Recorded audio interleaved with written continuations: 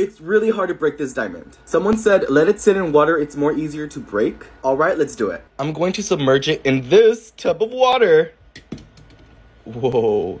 I don't know how long I'm supposed to wait. Let's see what happens. So I'm gonna be using the tools that came with the kit. And if this doesn't work, um, I'm gonna go outside and hit it with a hammer.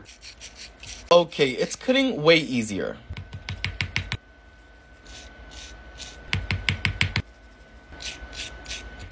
Yeah, this is gonna take forever, so I'm gonna go outside and use an actual hammer. Are you guys ready? Whoa, that's like rock solid. What?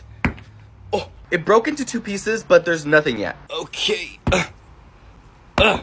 Oh my god, we got a stone. Let's try to break these big chunks to see if there's anything in them. Oh. Uh. Whoa. Uh. Wait, what is that? Yo, it's a freaking diamond.